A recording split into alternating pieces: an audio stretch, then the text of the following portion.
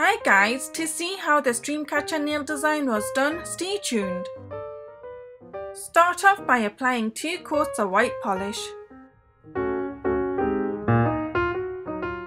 Then with a black striper draw a slightly curved line on the bottom of your nail. If you get any polish on your skin, remove it with a brush or cotton bud dipped in polish remover. With a medium dotting tool dipped in black polish dot in a dot. Then with a small dotting tool dipped in brown polish, paint on some feathers. I used two different brown polishes to do this. Next with the same small dotting tool dipped in green, pink and blue polish, dot on some dots like this.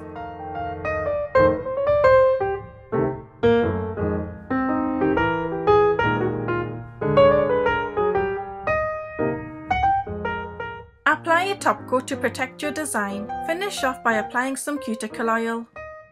And you're done. I hope you like this cute dream catcher nail design. If you do decide to do this, I would love to see on Twitter and Instagram. Thank you for watching and I'll see you guys later. Bye!